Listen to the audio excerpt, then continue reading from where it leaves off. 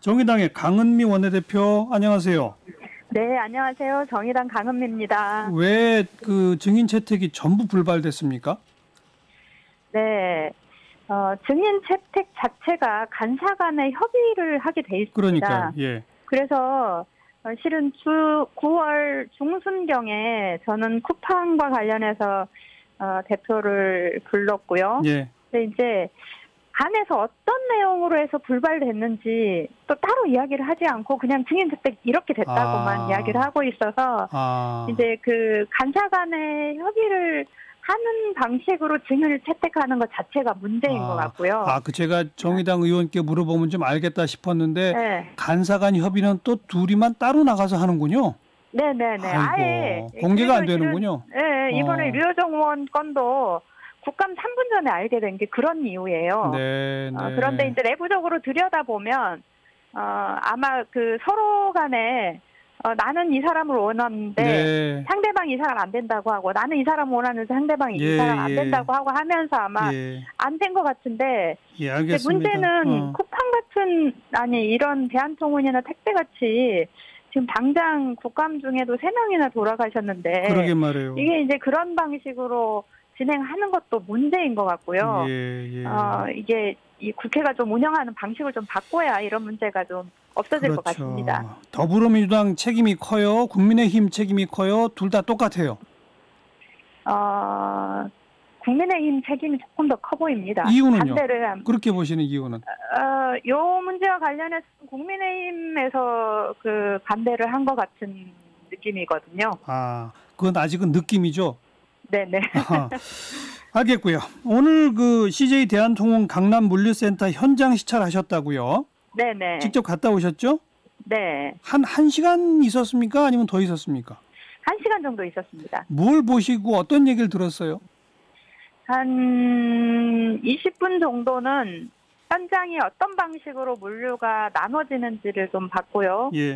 어, 그 다음에 한 10분 정도는 어, 그 회사의 설명을 좀 들었고요. 예. 나머지 30분은 이제 뭐 그 노조의 이야기하고 그 다음에 의원들 이야기하고 그 다음에 회사의 이야기 뭐 이런 정도로 어, 이야기를 나눴습니다. 그 일부 보도에 의하면 그 택배 노동자들이 갖은 고생을 다 하는 그 현장이 아니라 자동 분류되는 그런 공장을 가기로 했다던데 맞았나요?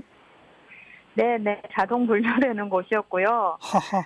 자동 분류되는 곳임에도 불구하고 네. 여기도 또 여러 가지 문제가 있더라고요. 어. 그러니까 이제 자동 분류가 되면 분류가 안 되는 오분류되는 게 있어요. 네. 회사에서는 4%밖에 아니다 하고 예. 노동조합에서는 아니 10%가 넘는다. 예. 근데 이제 오분류되는 물건이 물건이 크거나 무거운 거래요. 예. 그러니까 다 그때 뭐 오분류된 것을 이제 자기 차까지 또 들고 와야 되는 거예요. 근데 하루에 300개를 한다고 하면 오분류가 10%면 한 10개, 30개 정도 될 거 아닙니까? 예. 그 많은 것들 중에서 본인의 30개를 찾아서 들고 와야 되고 막 이런 문제들이 좀 있고요. 예. 어, 그 다음에 이제 이게 차를 접안하는 곳이 부족해서 또 뒤에서 좀 오래 대, 대기 하고 있는 문제, 네. 뭐 이런 상황들을 좀 지켜봤고, 네. 어, 저희가 이제 이, 있는 곳에서 CJ 대한통운도 있었지만 예. 또 건너편에는 이렇게 자동 오- 자동으로 분류되지 않는 곳도 옆에서 예. 슬쩍 봤는데 예. 아 저기는 정말 힘들겠다 이런 생각이 들긴 했습니다. 노동자들은 뭘 제일 크게 요구하던가요?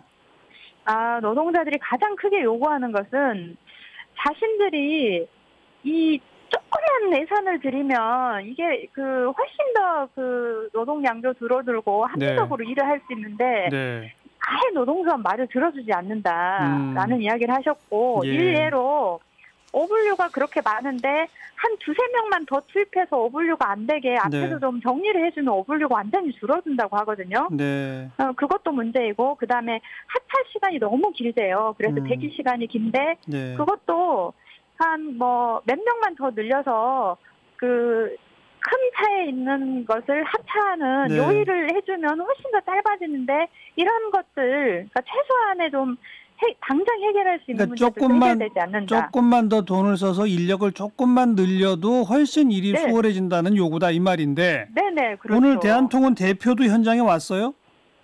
아, 네 와서 뭐라고 네. 대답하던가요? 네.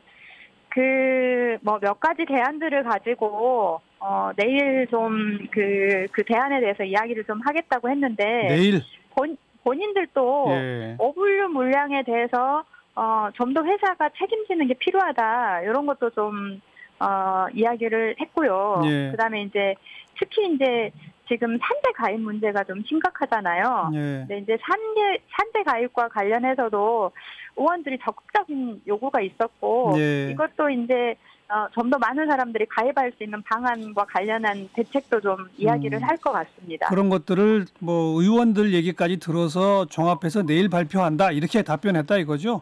네네네. 어, 그 잇따른 사망에 대해서 뭐 책임을 느끼고 사죄한다는 얘기를 하던가요? 네, 뭐 에, 그런 것까지는 어, 뭐, 뭐 없, 없었어요? 안타깝 게 생, 안타깝게 생각한다는 정도이고, 예. 알겠습니다. 네, 네.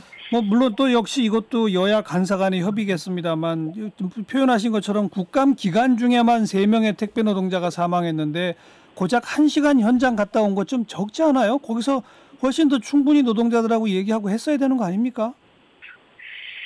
네, 저희가 이제 노동자들하고의 이야기는 음, 실은 이제 그 뭐 참고인이나 이렇게 불러서 조금 더 이야기를 듣긴 했고요. 네. 어, 그리고 오늘 저희가 그 그쪽 현장 말고 또 수해가 좀 심각해서 예. 수해 현장 방문까지 했거든요. 예, 예. 그 용담댐까지 내려와서 네, 예, 그렇게 예. 하느라고 좀 일정이 아. 빠듯하긴 했는데 어, 우리가 이번 국감에도 이제 마지막 그 다음 주 월요일 날 국감이 있는데 좀더 음. 깊게 논의를 하겠지만 예. 이후에도 택배 문제를 해결하기 위한 근본적인 문제에 맞습니다. 대해서 맞습니다. 적극적으로 논의하겠다고 했고요. 특히 이제 이 특수고용 노동자들이 예. 노동자성을 이- 뭐 인정받지 못하다 보니까 본인의 맞아요. 이야기들을 전달할 방법이 없어요. 그래서 이제 이런 그 노동자성을 인정할 수 있는 노조법. 개정이나 예. 전속성 산재 적용 문제 이런 것들은 어, 다 우리가 좀 어, 펴놓고 계속 계속 좀 챙겨주시기 바랍니다. 네, 고맙습니다. 네, 그래야죠. 네. 네, 국회 환경노동위원회 소속 정의당 강은미 원내대표였습니다.